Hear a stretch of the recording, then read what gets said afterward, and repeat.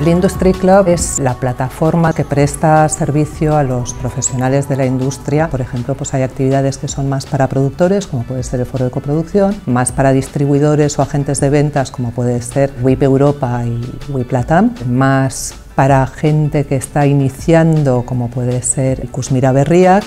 En 2012 se decide hacer el foro de coproducción Europa-América Latina precisamente para proyectos en desarrollo, en una fase anterior a los work in progress que ya son películas inacabadas. El foro de coproducción lo que hace es de alguna manera aglutinar a todos los productores, distribuidores, eh, agentes de ventas, eh, fondos europeos de, de ayudas al cine. En estos momentos precisamente de incertidumbre, los foros de coproducción y las iniciativas en las que se impulsa la colaboración entre los profesionales son claves.